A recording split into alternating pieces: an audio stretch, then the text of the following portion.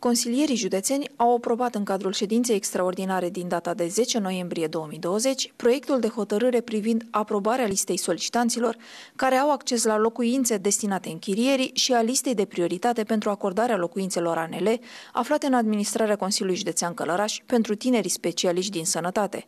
Prin hotărârea Consiliului Județean Călăraș a fost aprobat regulamentul de analiză și soluționarea cererilor pentru locuințele destinate închirierii în mod exclusiv pentru tinerii specialiști din sănătate, din fondul de locuințe ANL aflate în administrarea Consiliului Județean.